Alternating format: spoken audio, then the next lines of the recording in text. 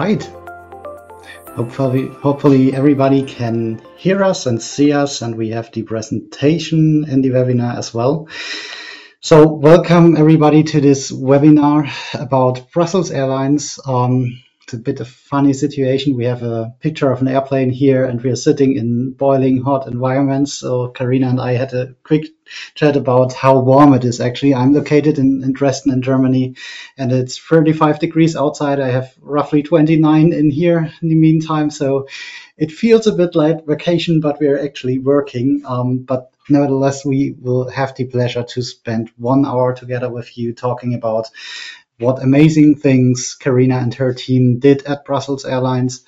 Um, and we have kind of uh, a good uh, transition to this slide. Your crew for today, as we're talking about an airline, uh, is myself as the host. My name is Sebastian. I'm working at Staffbase in a team called Strategic Advisory. We're doing strategic consultancy for our customers, talking about digital workplace strategies, intranet strategies, communication strategies. I had the pleasure to introduce Staffbase, my own, uh, at my previous station, as a customer of Staffbase to a global Fortune 500 company, as an employee app, and as an intranet. And uh, three and a half years ago, I decided to switch sides and help other companies achieving the same.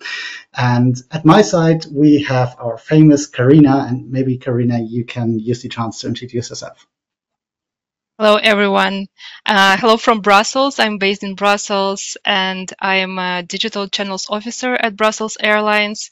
Uh, I work mainly in internal um, communication and I work with digital tools uh, for internal communication, in, including intranet.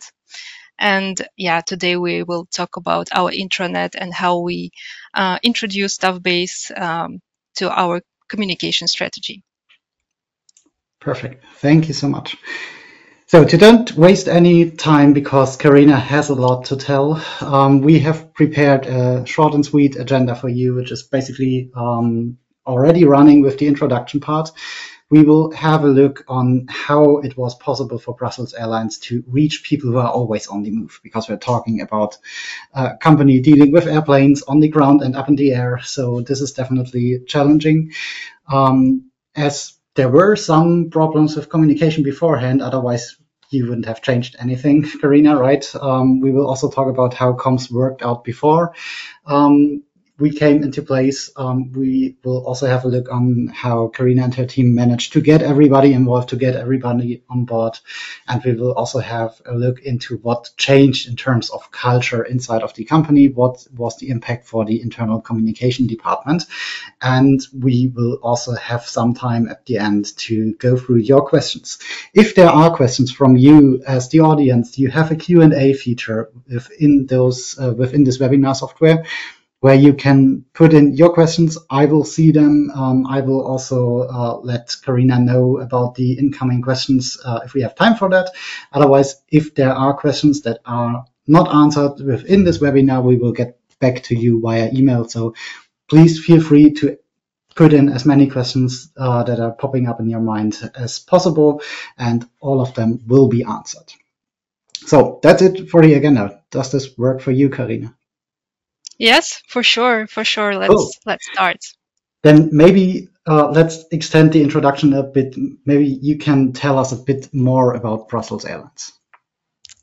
Yeah, so um, Brussels Airlines is a Belgian national carrier. We are part of Lufthansa Group, and uh, we fly to uh, more than 85 destinations, um, including uh, 70 locations in 17 locations in sub-Saharan Africa, and uh, I belong to the corporate communications team. We are five people, so um, head of com, uh, comms team, um, two spokespersons who are working on external communication, and two internal comms uh, managers, uh, me including, and um, yeah, as I said, I focus on the digital side of the internal communication, and my colleague is uh, focusing on the content. So we are a relatively small team and uh, our company is, uh, yeah, we have uh, slightly more slightly more than 3,300 employees, and it's a very diverse audience. So we have different communities, uh, as you can imagine. We have uh, pilots, we have attendants, flight attendants, we have airport staff, we have engineers and um, technicians um, that do maintenance of the aircraft. Um, so um, we are very diverse and we have uh, these communities in different locations. And uh, the largest uh, population in our company is the flight attendants community. They are 43% of the workforce of, uh, yeah, uh, almost half of the company. Office staff represents only 10% of the company, and um, pilots are around 12 uh, 12%, sorry, 20%, and uh, around 10% of airport staff. So as you can see, the 75%, the majority of our company um, um, is represented by the non-desk workers. So they are always on the move. They are either on a plane or at the airport, uh, for example, passenger uh, service agents, or they are in the hangar doing maintenance. So it is a yeah, very diverse, very uh, rich population, I would say. Yeah, definitely. So 75% of non-desk workers is indeed a very high number. And I can imagine it's not that easy to reach such a diverse workforce. Um, and before we dig into how you actually utilize Staffbase to reach them, um, how has your internal comms worked out before this project has happened? Uh, well, that's a good question. It was a time of disconnection. Uh, we used to have um, three uh, communication channels. Uh, that was SharePoint, Yammer, and we had newsletters, regular newsletters. But um, I would say that they were not ideal uh, instruments for internal communication for example, our SharePoint SharePoint was not uh, user friendly. It has it had a very uh, difficult structure and navigation because it was uh, created um, by different teams uh, within the company, and the content was not optimized for mobile use. So for frontliners, it was really difficult to reach the content that they needed. Um, yeah, the same uh, with Yammer. It was a nice platform for employee interaction, but on the other hand, uh, when we wanted to communicate some messages, uh, they were not targeted at different uh, communities. So it was just one uh, constant stream of messages, and these messages were lost in the stream, and uh, people really didn't know where to find this information, and this led to the to disinterest to the contents. Um, and we had newsletters and there was uh, an option of targeting uh, rather limited one. Um, but it used to work but to a certain extent. So as you can see um, it was uh, we, we, yeah our um, newsletter uh, was read only by half of the company and um, uh, the click uh, rate yeah click rate was 25%, meaning that when someone, uh, when user received an, um, a summary, a newsletter with um, a summary of uh, latest news, in order to read this uh, news, you, you had to click on the button and only 25% uh, did that. So that was really low readership very limited targeting option uh, options. Um, um, it was really difficult to reach mobile workforce because uh, that was not user friendly. They had to either uh, open Outlook on their mobile phone, which was not ideal. Um, either, yeah, and if they wanted to use SharePoint, they had to zoom in into the pages to find the content. So that was we definitely needed something else. And also this variety of channels was also confusing because um, they were, um, yeah, our employees, they were lost. They didn't know where to go to find mm. uh, the piece of, of, information that they were looking for. Mm. Um, so it was clear that first, uh, our communities are very disconnected. Um, also, they don't have a clear and user-friendly channel of communication. And um, also after the COVID, I think we used to have a physical space where people used to see each other. uh, the crew room at Brussels Airport. It, this was the place where pilots and flight attendants and airport staff could see each other and talk to each other, uh, and office staff as well. But uh, during COVID times, uh, this space was closed, so these communities have become even more disconnected. So mm. we needed something, um, some platform to unite and to connect. Okay what is kind of special from my point of view, if I'm talking to other companies um, utilizing Microsoft products like SharePoint and Yammer, and they have similar high amount of non-desk workers, they typically don't have Microsoft licenses for everybody. But this is a special situation for Brussels because you have them, right? Yes, that's the case. Uh, everyone has access to Teams and to SharePoint and to Outlook. Um, I cannot tell why exactly uh, this is um, the way it is, um, but I, I, know that we wanted to also make use of it somehow because uh, we wanted to integrate all those different uh, channels, parts of uh, content with each other. So that yeah. was also an idea. Yeah. So it's interesting to see even even with a fully licensed organization on Microsoft, it's sometimes hard to get things moving because especially if we're talking about internal comms, we're not talking about productivity. We're talking about creating culture. We also have this in the title of this webinar to create this culture of belonging. And if this is going to happen on the SharePoint, which is not mobile optimized for 75% of people who are working on mobile devices. This is kind of a hard job for comms to actually achieve. So my, my question would be, how did you start the actual change then? So what was the first step? Well, uh, I should say that I was not there at the time. I only joined the company two years ago and uh, one year into having Staffbase app. So I, um, but I interviewed my colleagues, so I can tell you a little bit about that. So um, the the benchmarking has been done between uh, three apps.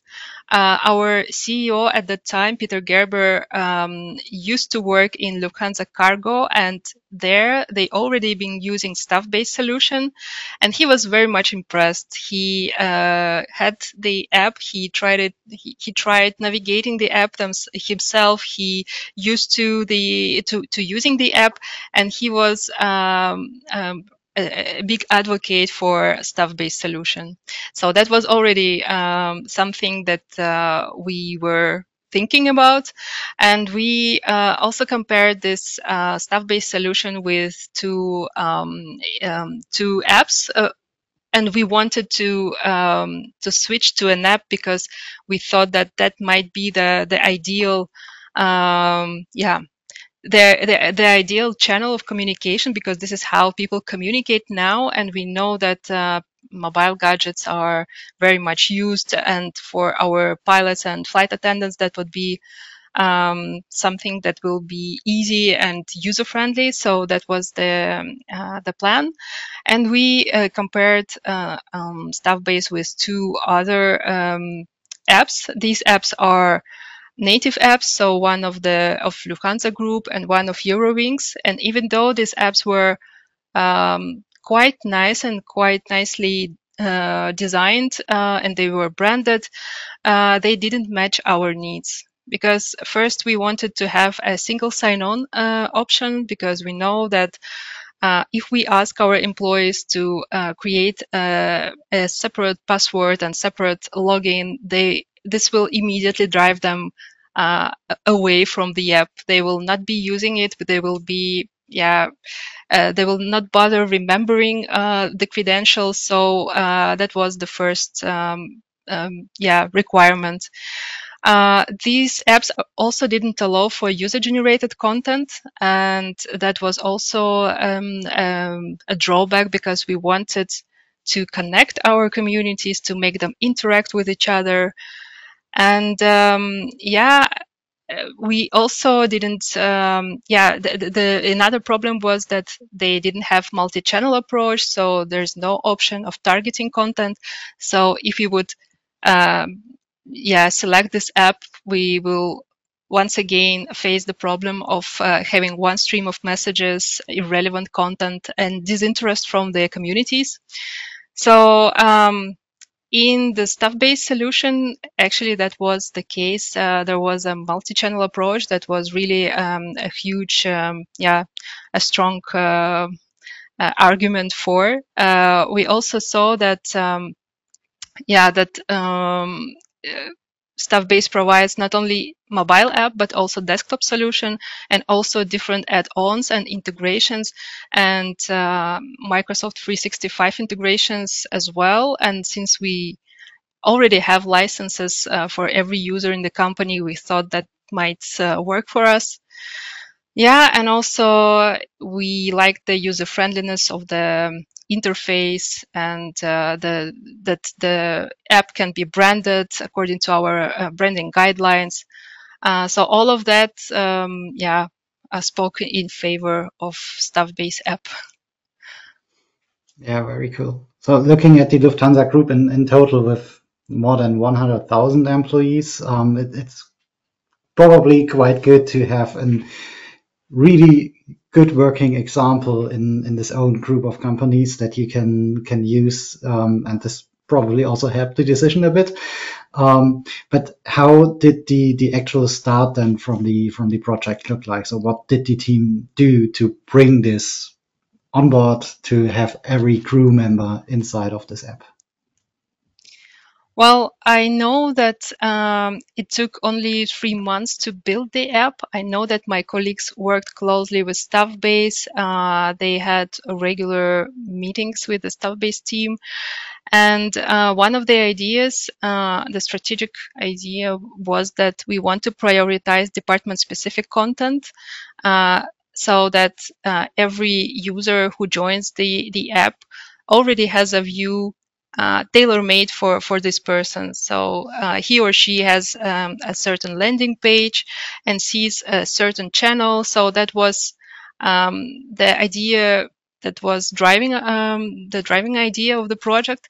And um, I know that um, yeah, the, the, the, whole implementation process uh, was rather quick and easy. And when I asked my colleague Ilse how was that, she said it was really, really, really smooth, and um, they they could uh, prepare everything in advance. They populated, they created the channels for every community.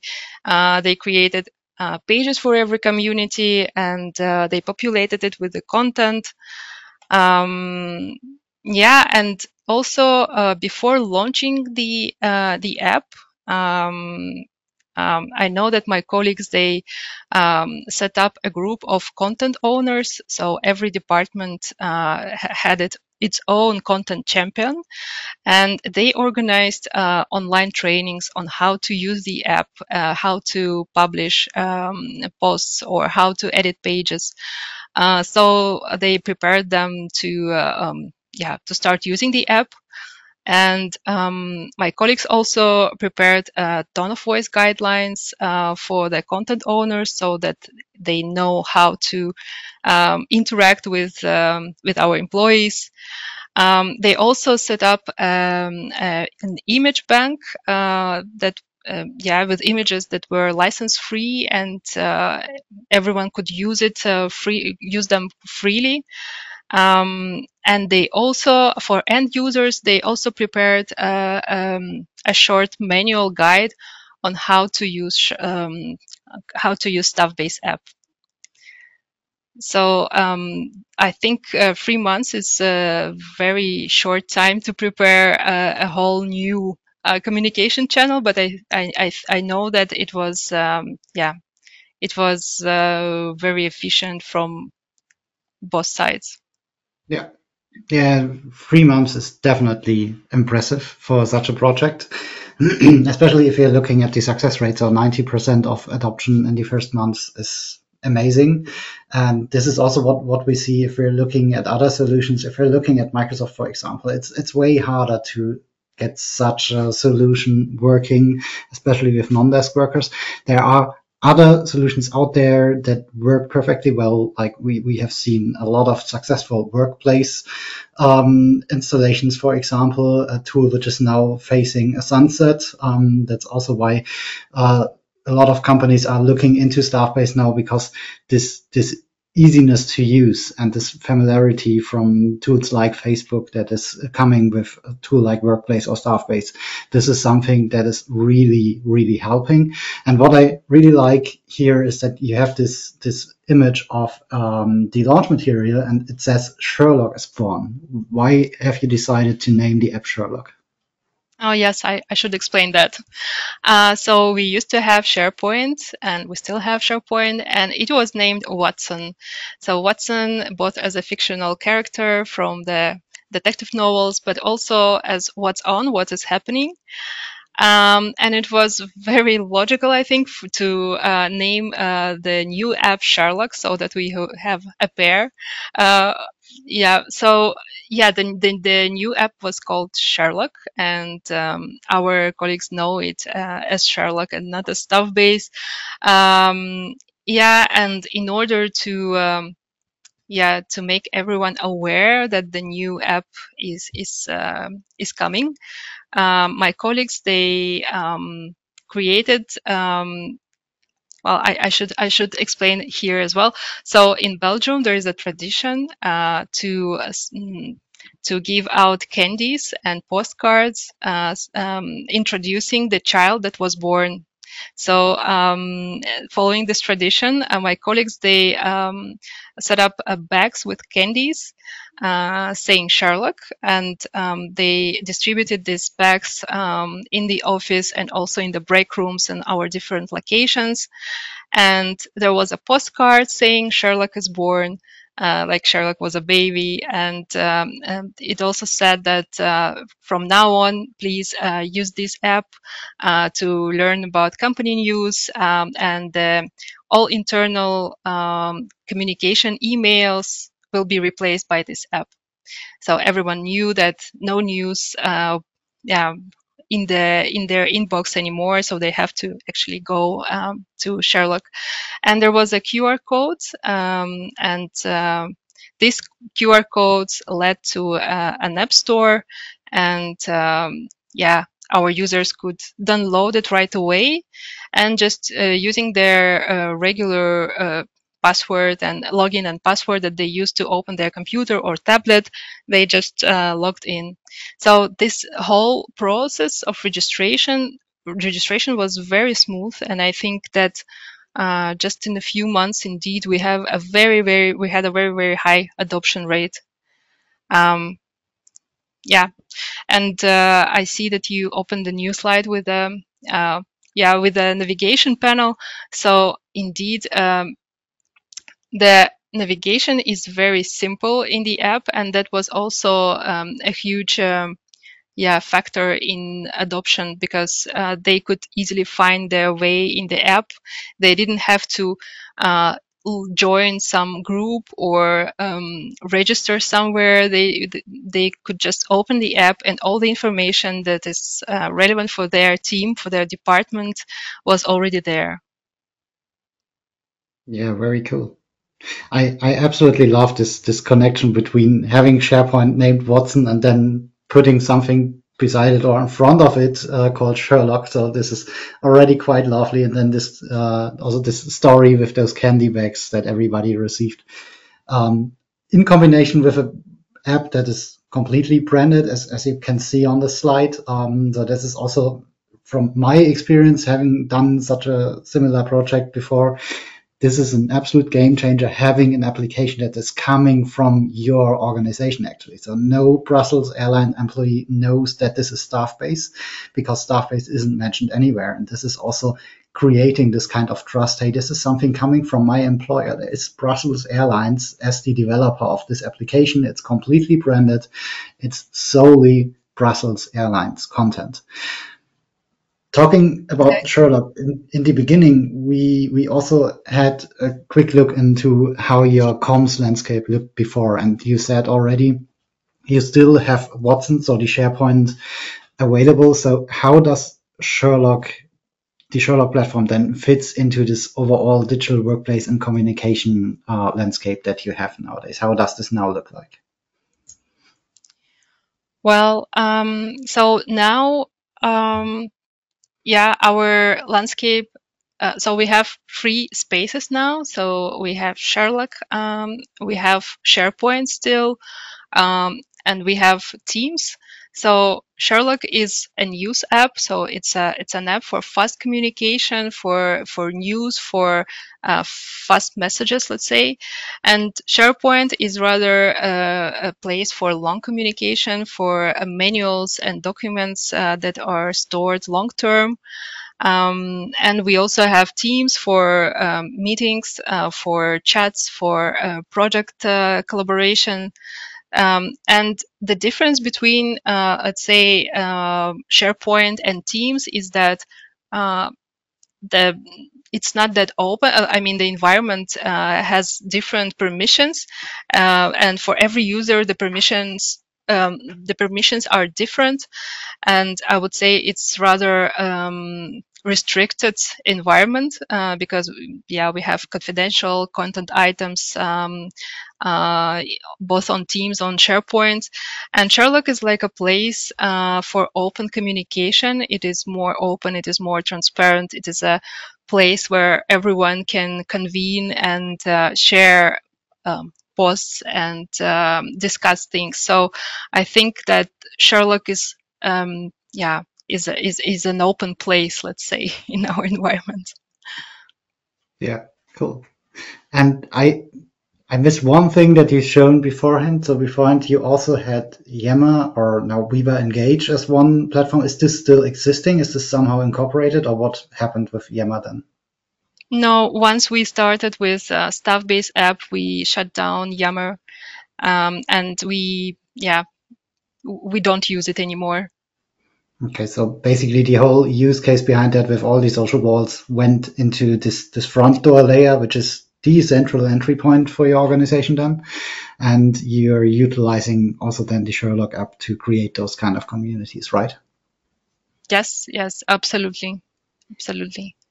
Okay, and talking about um, creating communities, we, we have um, building a culture of belonging as a title for this webinar. So if we're talking about communities, maybe let's focus on that for a moment. How does this whole aspect of culture fit into such a really technical picture? Well, first of all, uh, we have provided one uh, single platform for everyone uh, so, um, well, on SharePoint, you cannot interact much. Uh, and here, um, this is the case. People can interact. And um, yeah, it's, it's just a platform that has become a common space where everyone can can learn about everyone's um, yeah news and uh, it was also our deci decision from the start that we uh, enable co comments under every post. So every channel has uh, comments enabled. Um, and uh, yeah, the, that creates, I think, the culture of, of feedback. So every corporate news post can be commented. Uh, we see the reactions. We see sometimes maybe a little bit critical comments and reactions. Sometimes it's, um, yeah, uh, very positive, but um, that was our conscious decision to be transparent and to foster this culture of dialogue. And um, yeah, also the social wall may be one of the uh, favorite features of our colleagues um, in the app. It is a place um, where people can share basically a, any, everything that they uh, think that uh, might be interesting to the, their colleagues.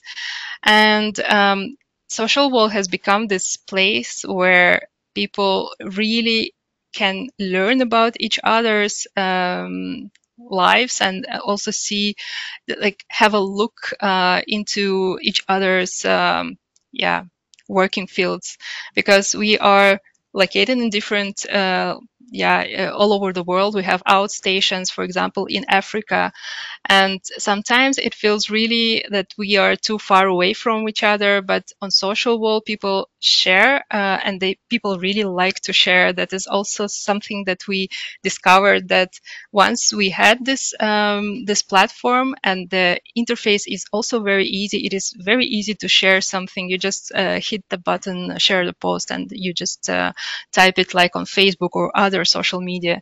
And people started sharing, and um, this is this has become uh, a uniting, uh, let's say, platform, the uniting moment for everyone. Mm-hmm. And uh, this is where we saw people connecting. And here you can see two um, screenshots. Um, for it's just an example.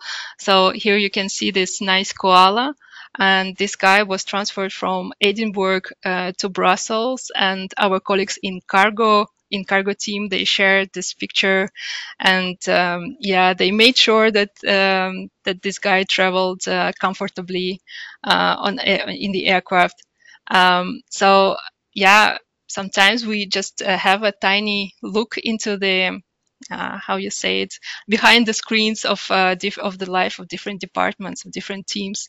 And here's a um, uh, it's a post uh, it's a congratulations post uh, to um, for a colleague a female captain who is uh, having 30 years of seniority. So again um, we know people, we learn about people, we, we connect, uh, we see each other, we see each other's uh, successes on the social wall. And um, yeah, this is how we learn.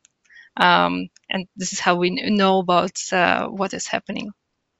Yeah.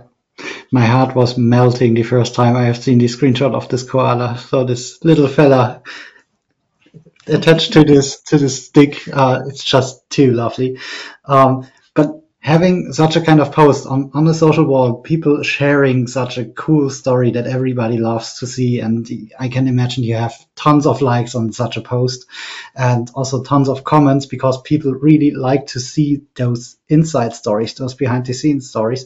Um, what, what's the actual impact on your organization then offering such a kind of way to share insights on what's going on?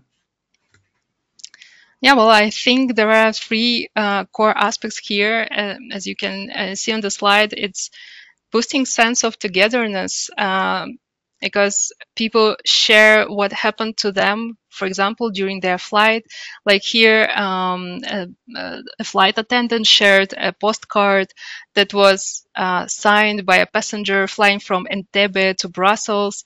And it's saying, um, thank you very much for your support, for your kind attention. It, it made my day. And um, yeah, the, the, the flight attendant just wanted to share it. And this is how people learn from each other and sometimes they feel proud being being um, part of the, of the team of the bigger team where um, yeah where everyone is trying to go extra mile to um, yeah to make our passengers happy for example. Um, and here you can see a picture a picture of uh, our crew um, was it uh, Accra, I think it was a Belgian Belgian National Day, and the airport team um, um, um, presented uh, a cake in the colors of Belgian flag uh, to cheer up our team. So, yeah, I think uh, this is how we connect to each other. We see um, we see the stories of our frontliners. We will not see them otherwise because uh, we, yeah, we are too disconnected uh, physically. Um, but this is what it creates the, when when people share their stories. And also, I think Social Wall and uh, Sherlock has become also a um, a support platform. So when people don't know where to find something or they lost something, uh, they uh, use Social Wall to help each other out. And uh, for example, here I think uh, it is a picture of a teddy bear that was uh, left by our um, one of uh, our passengers, of our young passengers, in the lounge in the airport, and our lounge staff found it then they uh, collaborated with the crews to be able to actually fly it to the place where this boy lives, and they also wrapped it in, wrapped the bear in the um, in the uh, blanket uh, with Smurfs, uh, so uh, they added some Belgian touch to it, uh, and that's also how people collaborate in our team, and they share this uh, on the social wall. And yeah, I think this, cases like this they um, they make people proud sometimes, sometimes just make people smile because it's something that yeah that our crews do and they um, yeah they do they're doing their best. Yeah and um, maybe to uh, talk about the last uh, screenshot it's um, sometimes of course of course we have uh, it's not always uh, rainbows and, and roses. Sometimes people of course being very very critical and negative. And um, when in the periods of social uh, tensions or um, so we had a, a, period of social unrest where one of our communities pilot community um, wanted to go on strike and they posted an open letter on the social wall explaining that they are going to uh, go on strike. And um, other communities started to um, to to to to engage in in the in a dialogue because um, they provided their um, they they wanted to share their uh, opinion on that because once uh, one community goes on strike on strike all other communities are impacted. And um, they um, for example, ground community shared another open letter uh, where they asked pilots, um, would do you are, are you sure that you want to, to, to go on strike? Because these are the consequences that we will face. And these are the consequences for the company. So uh, we didn't interf- interfere in, in, in this discussion but i think that when different communities shared their opinions um, on the platform i think that pilot community they also get an idea uh, what the life for other communities is. And they, in the end, decided not to strike. And I think that, um, yeah, this whole debate, the whole discussion, uh, in the end, it, it led to uh, more empathy because they realized what it is, what it means for other communities, and other mm. communities also now understand more about the challenges that pilot face, pilots face. So that's that's also sometimes it's not easy. Sometimes it's a very um, uh, let's say very heated discussions going on on the social wall but um, we of course following them closely we um, we try to keep everyone in um, to to make everyone be respectful and normally it is the case um, we never it is very rarely when someone is disrespectful uh, on, on, social Well, also maybe because it's not anonymous everyone is um, yeah is named and uh, is known but um, yeah i think I think it's uh, it's an interesting tool. We are still um, dealing with it. Uh, it's it's very uh, unpredictable, but in a good way because um, most of the time it's uh, it helps us understand what what are the emotions running in the company. Hmm. And isn't isn't that amazing to see? Because it's it's a tool, right? It's a social wall. It's just a possibility for your employees to communicate with each other, and what is happening is actually impact and value for the whole organization. Because if we're talking about a strike situations where the different communities, the different areas and departments in the organization start to talk to each other and to figure out how to move on together so that nobody gets hurt and still everybody achieves what they want to achieve. This is creating actual impact without the company interfering. And also this, this teddy bear story, it's also heart melting. If, if I imagine receiving such a package as uh, a parent, um, if my child has lost a teddy bear, this is also creating impact for the company because this is customer satisfaction. I, I can imagine that those parents posted it immediately on social media, said, how cool are they? What an effort they put into getting this teddy bear back to my child. This is just amazing what can happen with just a tool. And Indeed. we're talking about impact for the whole organization, but you're talking um, about also the, the comms department. You're representing the comms department of Brussels Airlines. So what, what is the impact on your department then? Yeah, I, I, I think that um, it is very multi multi-layered. Uh, first of all, we have uh, different formats to work with now. So as an internal comms team, we can share uh, our stories in a very different um, uh, formats. So, for example, we use uh, podcast format uh, for um, positioning our CEO because she joined um, after previous CEO um, has been working in the company for a really short period of time, and we were thinking, how can we um, position her in the way that everyone uh, knows her, learns about her, uh, and um, that it's not too formal. That um, yeah, that maybe it, it, it becomes more personal in a way. So uh, we ask her to record um, a message every two weeks for our employees and uh, just talk about uh, her life, her professional life, uh, about her recent meetings, uh, some developments. And that was a huge success. Um, even though people didn't know her from the start, it was like a bridge between, um, yeah, between her and the audience. Um, yeah, and we also um, have different communities. So here you can see a picture of um, uh, made on the Antwerp Pride. Um, so we have LGBTQ plus community, we have female leadership community, uh, we have uh, young professionals community um, in uh, in our intranet on, on Sherlock. And that is also um, a connecting moment. So people unite uh, uh, and they um, live these communities they have life of their own.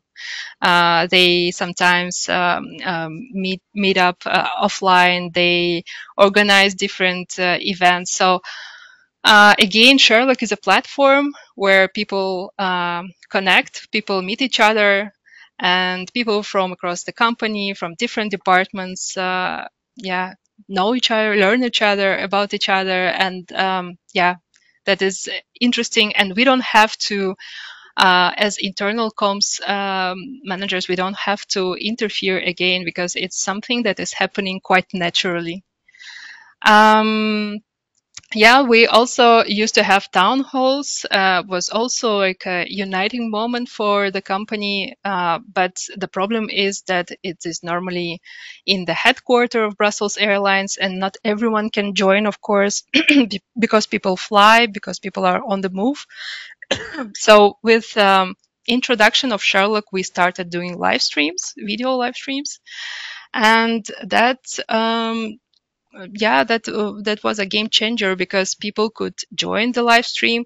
If they're busy, they can join it. Uh, the, they can watch the recording later, and this is also the way to inform uh, our staff about important topics. And um, yeah, we also, for example, for our outstations, we uh, do uh, separate live streams. I mean, the same live stream, but in a, a low lower quality so that they uh, don't have issues with downloading um, the, the, the recordings. So even people in the outstations, they still can um, yeah join the town halls, and that was not the case before. Um, yeah, and we um, we also use AI support. As you can see, um, uh, it is a feature that is uh, built in uh, in the backend, and because it's not only us who share the content. We have a lot of content owners, content champions, and sometimes not all of them are um, are good communicators. Let's say they don't have writing skills, and uh, sometimes they need to uh, proofread uh, their texts. Uh, and AI also changed this uh, really, really drastically. We don't have to do uh, this work anymore. We don't have to proofread. We don't. Um, we just explain how to use AI. You just uh, click on the magic wand and your title uh, becomes more uh, catchy and interesting. Of course, you have to be um, critical with in, with the AI. You have to be very um, yeah attentive to what uh, you are posting. Of course, you have to um, adapt it to your own needs, but that really helps for for people who have, for example, uh, a list of bullet points to communicate. They can create a whole um, communication, a whole post about it uh, without our help. That really helps us because, uh, yeah, that saves time. That uh, makes people more independent content um, managers, content owners. Um, so yeah, that that helps. Yeah, cool. So so basically, you're combining the best tool can give you in terms of possibilities from uh, doing live streams, doing uh, AI support for not that experienced writers, um, together with what is happening by employees utilizing these tools. And you have kind of best of breed approach there because the things that you're posting that you as the, the comms department have to post, you have to inform your employees, gets also uh, a higher reach if there's things around this that creates this kind of engagement, this kind of interest in what's happening, what's going on. So you have basically a mixture of engaging content and the content you have to communicate, right? Yes, exactly, exactly. And um, since again, uh, every community, once they open the app, first they see the team related community and only then corporate news, it also makes sense for them because they know they will not have to look for the relevant content in the stream of irrelevant uh, yeah news. Yeah.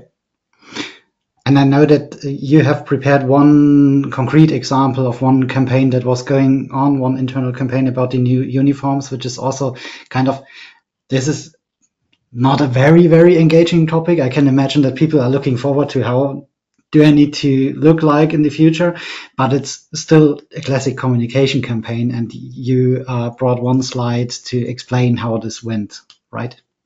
Yes. Um, yeah, you can see it here. So indeed, uh, in the beginning of this year, we wanted to introduce a new uniform, and this new uniform was centered around the topic of uh, sustainability. It, it is more sustainable and diversity because um, every airline has um, its uh, guidelines, um, style guides on um, what uh, flight attendants or pilots can wear and what they cannot wear. Uh, they are very, very detailed. And uh, for us, it was the first uh, style guide where um, female and male pilots and flight attendants would have um, the same the same style guide. So um, that mean that means that pilots can wear makeup, for example, very neutral, but still, uh, I, I, mean, male pilots, of course, um, and, and, and vice versa. So. Um, so it was centered about inclusivity, uh, diversity, and sustainability as well. And we started um, the teasing campaign with uh, videos. Uh, we shared videos um, that hinted uh, on some aspects of the new uniform, but uh, no one saw it. Um, no one knew what it what it is like, and um, before the the actual launch, we um, we launched the uniform guessing game. So uh, you can see a picture of cactus here. So it was like um, uh, how you call it, um, like a quiz calendar, uh, like a calendar that you would normally um, uh, have on Christmas with different tiles that you open each day. And these tiles, um, uh, under each tile, there was a picture. Uh, and this picture uh, was a hint uh, and it was somehow related to the new uniform. So our staff, we asked them to try to guess how this picture relates to the new uniform. And of course, there was a lot of excitement uh, in the community. Everyone was really excited. What is coming? What will be the color of the uni new uniform? What does cactus uh, has uh, to do with the uniform? Um, so the cactus, actually, we used uh, cactus leather for for the shoes uh, in our new uniform. Um, so that was one of the formats uh, on, um, yeah, on building on awareness and also building on the desire for the new uniform.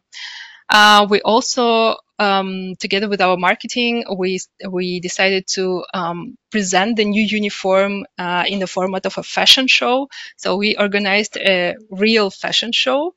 Um, and we um, organized the live stream of this fashion show uh, on Sherlock. So before the actual event, we put the banners uh, on every landing page, so you can see it on top of the page now. Um, now, and uh, so everyone knew that uh, the launch is coming. Everyone was excited about it, and during the uh, fashion show itself, there was a small button to join the live stream, and they could watch the live stream right on Sherlock. And so that was really important for our pilots and flight attendants that were not in Brussels at the time. They couldn't join the actual physical event, but they were still very excited about the uniform. And uh, for um, for our staff when they uh, started wearing the new uniform. They wanted sometimes they wanted to swap some items. So for example you can wear a dress but uh, you prefer trousers. And um, for our uniform team there was the, there was a lot of work uh, to actually process every request. So what we did we just opened uh, a swap forum where different um, yeah where our people they were just uh, posting their um, yeah uh, their posts saying, okay, I have trousers in size XS. Uh, I would love to swap it for uh, a skirt, for example. And that that was very efficient, and uh, that was also very good for our uniform team because they didn't have to handle that. Um, yeah, because it's different for 3,000 uh, people to uh, yeah to accommodate every request. Um, yeah, and after after the switch to the new uniform, uh, our uh, different teams outside Belgium, without our, even us uh, asking them to do that, they started sharing uh, the pictures of their teams on the social wall in the new uniform, and um, that was also something that we didn't expect, but it was really great to see that um, we are all wearing one uniform, even though we are very different. We are in different um, places of the world, uh, but everyone is wearing the same uniform. Um, yeah, so I think again it is um, something that helps you to have a, a look uh, at the life of different communities and also feel that you belong to this community. Very cool example indeed. Um, as we're approaching the full hour um, and we have plenty of questions waiting to be answered by you, um, I, I, would say maybe you can sum up the um, the journey that you went through and the main free learnings that you gathered throughout the whole project phase, and then we can go into the questions that are waiting.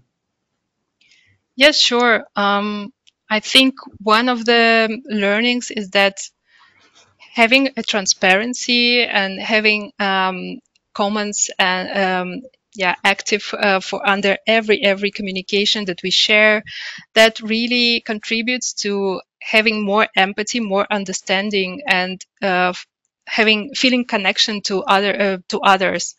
Uh, it was a risky uh, adventure from the start uh, because we didn't know what comments will be coming in, but now we see that indeed it uh, even though it, it may be scary at the start it's actually it, it, it helps because we we can discuss things and we can find common grounds um, that is much better than just staying um, disconnected, not knowing uh, what people think about this or that. So that really helps us as uh, as the internal communications team.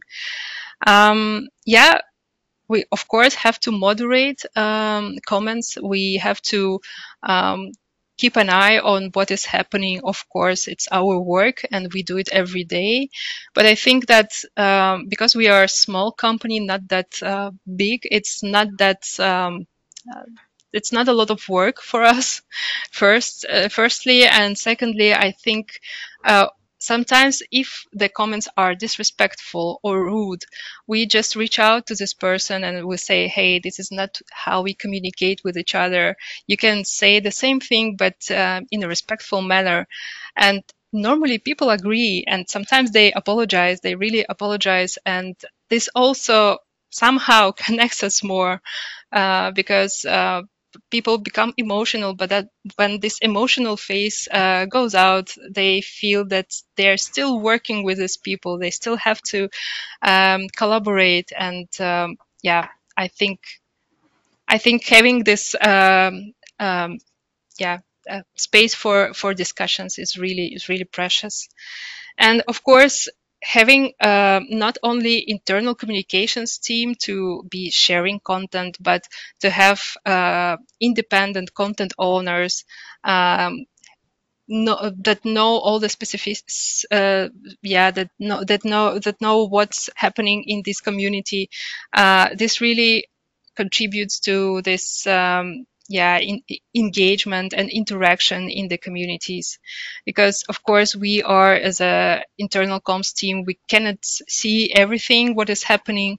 And when we have these uh, content champions all over the company um, that helps to yeah to to to um, make co content diverse and to feel the the for communities to feel that they are yeah that they are seen that there is a person who knows what their what their challenges are and that um, shares content with them.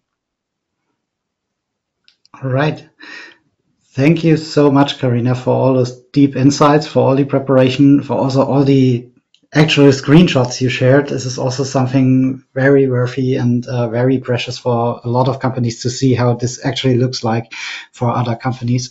Um, we have a couple of minutes left, um, and we have tons of questions. Um, so we will we won't be able to answer all of them, um, but I will do my best to sum up at least some of them because we have a lot of questions also around um, social walls, who is going, who is able to see what.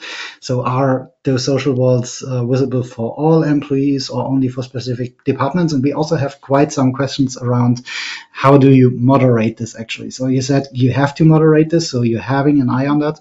But there was, for example, a question around do you have uh, criteria or guidelines when you might need to interfere actually with something that is going on that tends to be a bit more critical or something like that? And the second question uh, bound to that is are you deciding who uh, which post is going to be published or is everything published as soon as the user hits send? Mm-hmm. um, let's start from the last question. It's um, user who decides. We don't have any pre-moderation. Um, about the social wall yes social wall is visible to everyone in the company and everyone can post on it so it is a, a truly open open forum in the company. And how do we moderate? Are there any guidelines? I would say it's pretty simple.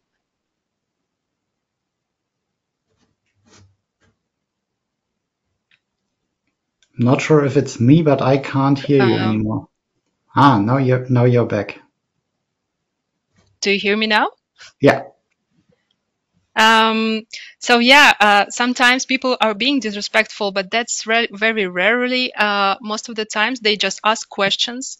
Sometimes something that um, they don't understand, and then we reach out to, uh, uh, let's say, topic owner and ask him or her to give to provide a little bit of uh, context um, and uh, yeah, um, answer their questions.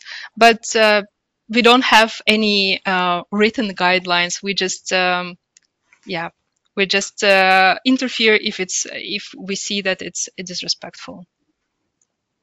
All right, thank you. And as we're in the last minute, maybe one one question which I was would be also interested in: what is the adoption now of the entire non-desk employee population? For non-desk uh, population, I can't tell for sure. I can tell for the whole company, it's uh, around 93%, I think. Uh, I, I know that uh, overall it's it's it's, somewhere around 90% uh, so actually almost everyone is on sherlock in the company. We have a very very small proportion of people who haven't registered yet but these are normally people who are on the long-term leave or uh, they left the company and we forgot to remove them uh, from from from the platform. But normally almost everyone is on the platform all right this sounds amazing. So you did a great job. You're doing a great job with the platform.